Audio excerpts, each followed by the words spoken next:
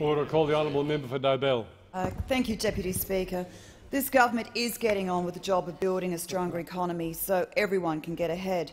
We are strengthening the economy by abolishing the carbon tax and cutting red tape burden by $1 billion each year so that businesses can have confidence to grow and expand in order to deliver new jobs.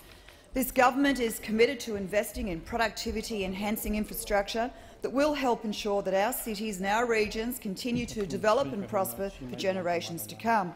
And unlike the member of Charlton Cross there, I do strongly believe in my electorate and are here to represent them. This government is committed to building the roads of the 21st century, essential infrastructure that will increase the nation's productivity and increase growth to enable sustainable job creation. This is in stark contrast to the jobs crippling legacy left by members opposite after six long years of unstable government, irrational decision-making and policy on the run that destroyed both business and consumer confidence Australia-wide. We came to government tasked with reversing Labor's legacy to Australia. Sure. Notably, 200,000 more unemployed, contrary to um, the other member over there who suggested it was 250. Gross debt, uh, sorry, gross debt projected to rise to $667 billion, $123 billion in cumulative deficits and the world's biggest carbon tax. It's an impressive job-destroying legacy. Small business is the backbone of my local economy. Collectively, small business is the largest employer on the Central Coast. Dobell has 3,980 employing businesses. Yep. Only 24 of these businesses employ more than 200 people. This clearly demonstrates my region's reliance on small business for local employment. Dobell was left with its own legacy from the former Labor government.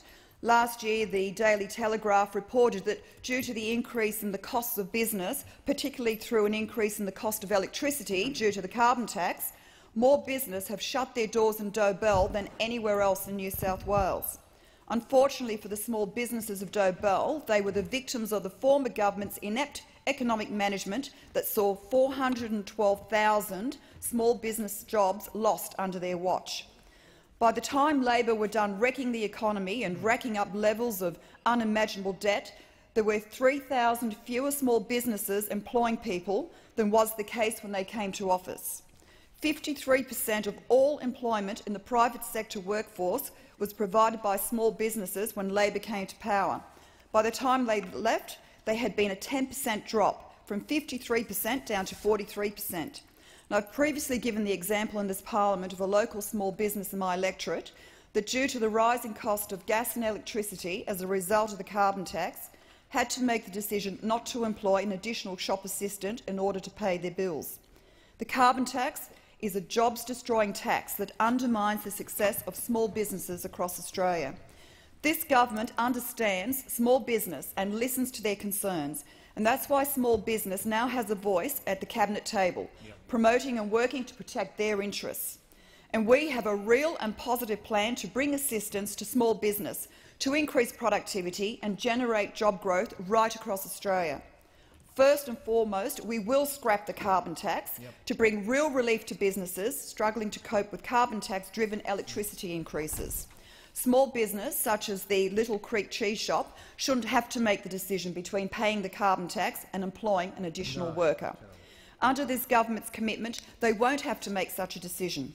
We want to reverse the 412,000 jobs lost in small business under the opposition's watch, and we will do so by scrapping the carbon tax.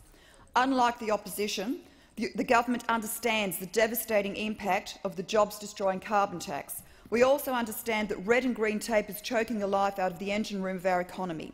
And that is why this government will hold this parliament's first ever regulation repeal day, the first step in reducing red and green tape costs to businesses by $1 billion a day.